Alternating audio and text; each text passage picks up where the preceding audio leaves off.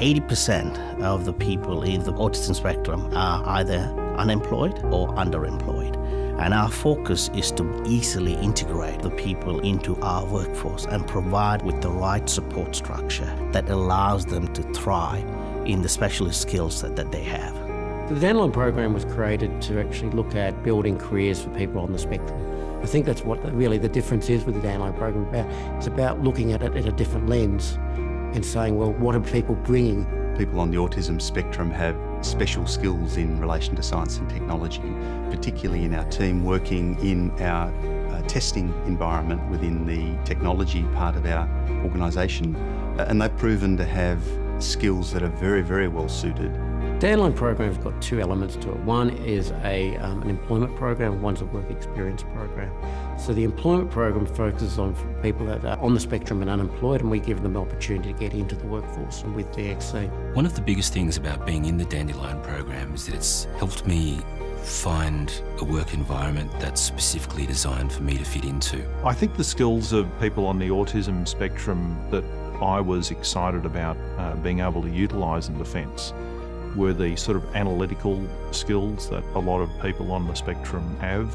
The Dandelion program and the participants of the program have really enriched our cybersecurity capability. The participants of the Dandelion program are working in the Defense Security Operations Center, analyzing various logs, understanding patterns, detecting insider threats, and writing certain programs to make sure that we defend our networks. And they are doing a brilliant job in all these aspects. I wasn't very independent or confident in myself. It was hard for me to find jobs. Even getting experience was pretty hard. The interview process is pretty much for people that have the skills socially but not really suited for people that just want to get into the work. Those skills come with being in those environments and I've gained the ability to talk to stakeholders in a language that they understand. The participants of the Dandelion program have uh, achieved whatever we set out for them to achieve, has put the pressure back on us to keep pace. The Dandelion program is not about just recruiting people on the autism spectrum. This is about the ability for us to provide a normal working environment with the right support structure and to see the people thrive in that environment.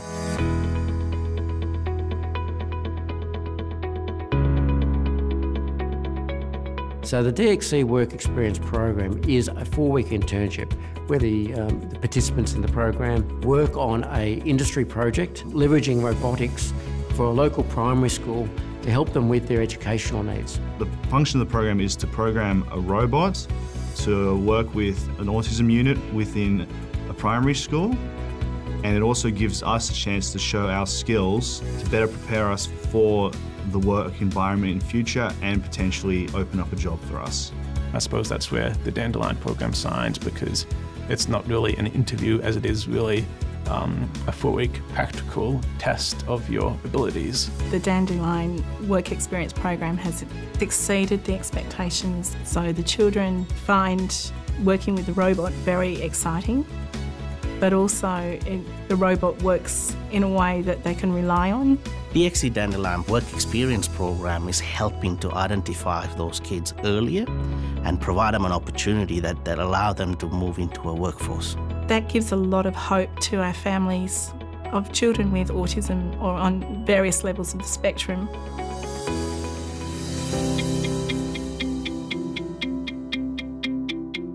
Key part of the Dandelion program is actually providing hope. Hope for people on the on the spectrum, allowing them to actually think that they, there's going to be jobs for them in the future. The fact that I could play a small part in getting this program into defence, very happy and also very very optimistic about the future. It is a win-win situation both for the employers and for the program. There's no reason why this could not be successful in other industries and in a global context. The skills that people on the spectrum have are applicable anywhere. Where I've gone from being like immobile and just literally doing nothing to now having something I can do every day that actually puts um, my skills to good use. One of the things about the Dandelion program for me is actually how much impact it had, um, had on people's lives. Seeing that actually result in benefits to their friends, their loved ones, their family, showing that they can now be, you know, have a quality of life. I have the ability to rent my own place and have a child and support my family. I wouldn't have been able to um, have the life that I have right now without the Dandelion program.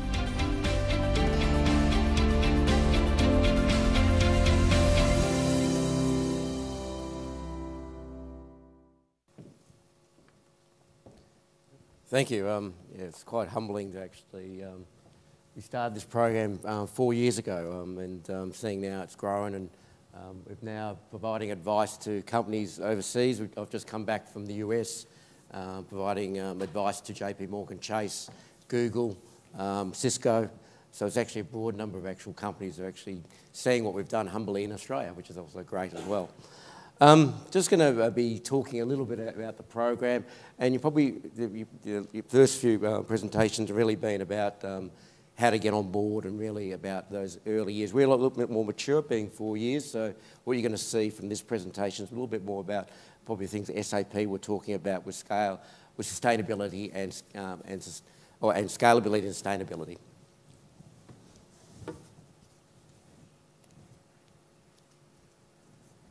So we, uh, as I mentioned, we started this um, four years ago. Um, it was um, a, from actually um, from a need because we actually were seeing a war on talent. So very much what um, ANZ Bank was saying in regards to um, the, their need about looking at you know especially cybersecurity roles and testing roles. We were finding a shortage in the market, and that really uh, really drove a kind of a demand to look at, well, where, where could there possibly be some untapped talent? And from this, um, I remembered, a, um, again, a, similar to SAP, um, and probably Suncorp, is um, remembering an article uh, from Thorkil Sonne from Specialisterne, really a, a, one of the real thought leaders, well, probably activists um, globally around this. And we um, basically took that and then started really under, uh, uh, talking to people globally around what programs have been um, done, what programs have, been, have had been um, started before. There's been a movement about 10 years ago in this space, and we found a lot of programs actually did dissipate. And I think um, ANZ Bank put this up very well about the, um, being the activists, the, the pioneers, and the settlers, and really not having a lot of that evidence-based research to actually support the settlers. And we're, one thing we're a big part of this program when we pulled it together was actually evidence-based research. So we've got a lot of data we've been working with closely with La Trobe University, um, with the Autism CRC, Cornell University, and uh, recently with the University of Queensland. And that's just growing. Um, we've also uh, started to work in with the University College of London and Stanford University as well. So as I was probably in the slide, um, in the video, we really are got two streams to the program. We've got an internship and an employment stream. We've got currently 58 people we've employed um, and uh, we're looking to grow that as well. We're a little bit different. We actually focus on three domains, and that was actually um, cybersecurity, data analytics, and software testing. So this is just a little bit about the structure of the program. Um, we've got really year ones about job awareness, so we really focus on getting them settled in their workplace, what work activities need to be done, focus on the, uh, we have kind of two tracks in it, a technical track and a social track, um, and really focus about integration. And that's the whole purpose, is just focusing, getting them to integrate in the work environment. It's not about a job, it's about them having a career and actually able to self-actualise during that, that, that career. So year two is really about self-advocacy. So how do we actually get look and get the individuals saying what job do they want? So what the, so they better understand what their strengths are, their weaknesses, and also then saying, well, what opportunities are, are, available? So we, during this kind of process, we actually go ahead and do um, a bit of a career fair, and we have a great, um, you know, I know the teams at the back there, sitting on the back row. I don't know why you're sitting on the back row, um, but they are. Um, um, they're the ones who really actually run this program. And over the last kind of uh, four years, we've able, been able to refine this numbers of times through actually evidence-based research too, which um, we've get from La Trobe. Um, year three is all about a transitioning year. So, and does, this doesn't mean that somebody can't move uh, quickly through this process. Um, but yeah, we just try to have some structure. It was actually interesting when we pulled together the program, our autistic um, trainees were saying we don't have any structure around the program, which was a good bit of feedback. Um, so we started pulling that together and actually getting a very much a very, there's a lot more detail that goes behind this. And we started pulling together a program that allows them to work through what do I actually look, what am I looking at in my first kind of 60, uh, 30 to 60 days, what I'm looking at my 90 days, what happens after that year, and what goes further. So this is a little bit more detail around the program. So we have an assessment process, um, an onboarding process, a, um, what we call skill and experience building process, and a, um, a job and a career transition. Um, these slides will actually be provided as part of the, um, of the pack going out afterwards. Um, we spent a lot of time with La Trobe University with regards to looking at all these different elements of the program. We're very lucky then to start collaborating with Cornell University about some of the other aspects of it. And, and that actually further enriched the program and also from our learnings um, through the program and um, we, have got um, six autism consultants in, in, our, in, our, in our program. They further enriched it and actually refined it as we went through. We have three, apart from these kind of major building blocks, we actually have three streams um, which we build against, which are, is a technical stream, an executive functioning stream, and an adaptive, life, uh, adaptive skill or life skill stream. Um, so we, what, we, what we're trying to do is look at the person as a, as a whole, not just, just how he just functions just at that particular job function.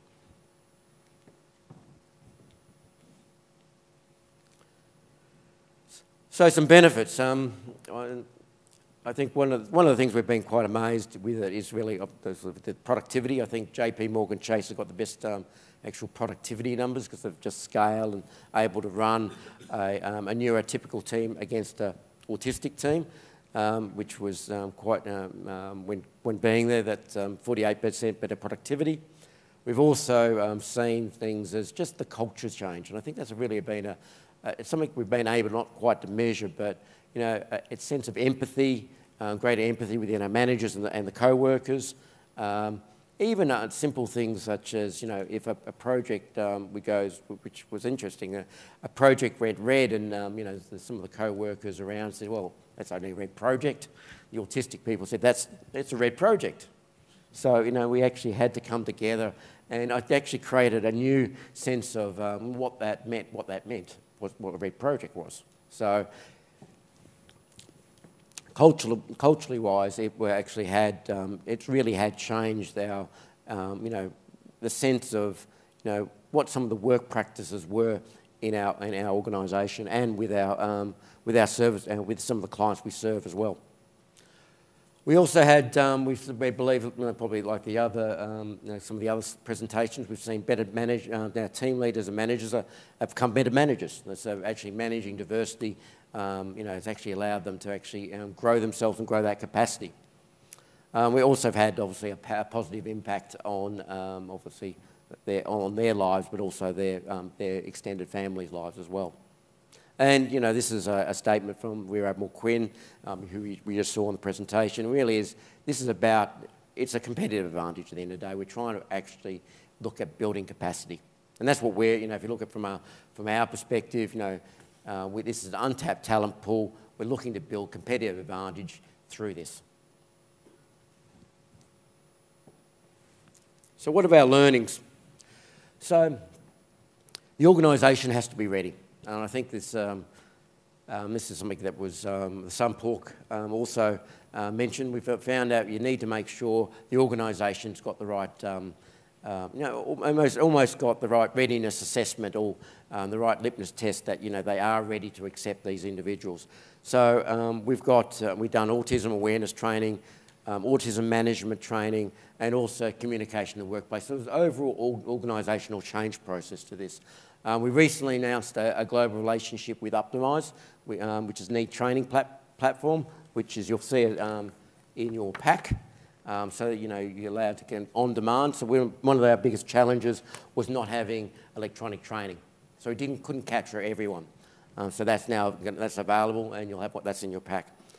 Um, also, not just thinking about the individuals, just at, with about their technical skills. I mentioned you have to look at this at a holistic, executive functioning skills, life skills, and actually empowerment. How do you empower them? to actually then to self you know, self actualize or even self advocate. Um, we've seen in uh, plenty, got, we've got plenty of examples where they might be stuck in a role and um, they feel like they never can get out of that role. And as they can self advocate, they can then say, I would know this role doesn't really suit me or I like to do something else. Um, support, and I think this is common across um, SAP and Suncorp. Um, don't, just don't think about it as just um, providing the uh, support uh, to the individual in the workplace. You have to be, um, provide a holistic support inside and outside the workplace. And um, um, we'll be also be announcing a, um, a, a, relationship with Life Without Barriers, um, which we're very pleased to.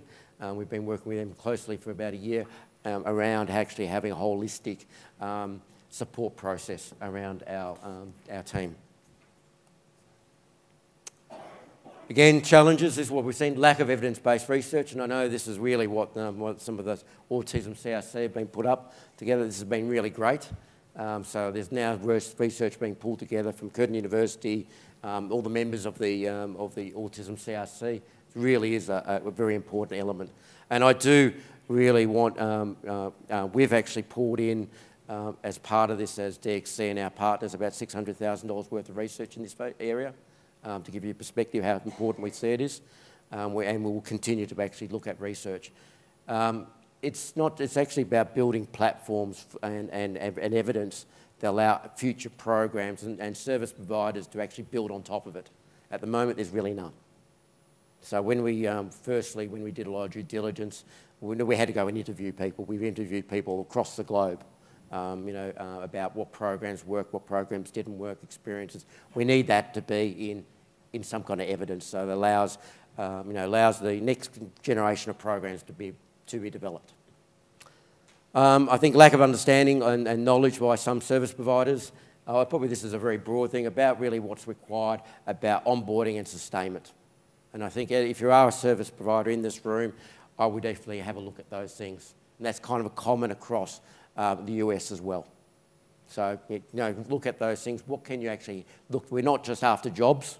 We're after actually having sustainable careers for people. So, what actual post-employment programs do you have? So, have a think about that. And I think you really need to go and, um, you know, this is the same things I've seen in Europe and also in the US. Um, so, what can you know if you're going to be starting, especially smaller companies um, that not probably don't have the scale of some like SAP or or um, DXC or ANZ Bank, um, you, will you know, what can we do to actually provide them post-employment support programs? Um, and this is another thing um, with um, employer tools. So around management training, screening, behavioural management tools and transition plan. It's really that overall holistic look at the individual. So we've actually had to learn all of this ourselves, and I'm very lucky we've got just just We've got a great team to do this uh, with our autism consultants um, on board we have and our partners. We've been able to start building some of these tools. Um, the economic business case. So, um, and this is one of the things we've kind of um, struggled a little bit with, but we've been, been, getting, been working with La Trobe and also um, PwC on this, and we're going to be working closely with ANZ Bank on this economic business case. So it allows other business businesses to actually look at this and say, well, how do we employ more people with autism? We'll start the journey. And I think this is just our, um, also, I think, a fragmentation of the services, social services sector, which has actually found, found it difficult to actually navigate sometimes. So the future, um, and um, we, like, we have a goal of employing about 120 people on the, on the spectrum. We'll hopefully be doing this by early next year. So that's how, we, how much we, the program actually means to us and also its success. Um, we've actually announced global relationships with Optimise on e-training uh, program with neurodiversity. So this allows us to scale it out. So different cultures, um, different countries. Don't just think of Australia. We have to have a platform that will actually allow us to train individuals across globally. Across, I think we've got 100, probably 160,000 employees. So we have to really have to go ahead. If we're going to do this, we have to look at scale. Um, further research in the areas of mental health and autism um, is one of some of the challenges we've faced. Um, so we're now going to be looking at how we actually build that and build some more evidence-based research so we can look at tools around um, and, and, also um, techniques or interventions we can put into the workplace. Um, we're working with um, Cornell University, the Autism CRC, and University of Queensland on a global survey across all autism programs. Um, this will also help us, uh, you know, also help service providers um, understand probably what the, what the benefits are, the challenges, and how do we start going forward. So that, that survey will, will, be, will work through that um, over the next kind of 12 months. We've, um, we'll be launching an MBA, uh, our, we launched an MBA internship program with developing for future HR leaders, which we're doing an internship with Cornell and also the University of Queensland. And what we're hoping with that is that um, our, we, you know, future leaders of, um, you know, um, our future HR leaders start to understand how to develop some of these programs. Um, we'll also be running a, an internship program our, um, this uh, coming up in, in December uh, in Queensland, which is great. Uh, so we've had done um, South Australia and um, Canberra, um, working with University of South Australia, ANU, University of Canberra, and um, also um, CIT, which is a, uh, the Canberra Institute of Techn Technology. And we also be um, been working, we'll be announcing a partnership shortly, which um, with La Trobe with um, on some, uh, an autism workforce behavioural management, behavioural management tool, which is coming out of Israel, um, which we've been able to work with the Israeli um, um, Defence Forces. So this tool actually has been deployed by them, and we'll hopefully be commercialising that with them, with, uh, with La Trobe and the Israeli universities. So we've, we've been trialling it for six months and we'll now be putting that in place across all our, um, across all our teams. And again, um, we're, looking to expand our program nationally, um, looking to look at, um, and to do that we, we need a national, um, um, a national non-government organisation or a national partner, which is Life Without Barriers. So we and here's some resources we've put up. So this is, if you want to get some material, um, you know, um, this is, the, we've got some open source documents which we provided through to Cornell. We've obviously got the Autism CRC. People know the OTARC, which is La Trobe we've been working with, and other organisations. integrated Autism Advisors, they're based in New York. They do a lot of advising of in, in New York around uh, for some of the banks. Um, Optimize is a UK company um, which does, does the, um, the platform. And we do have a LinkedIn group as well, Autism at Work. So if you want to connect to that. Thank you.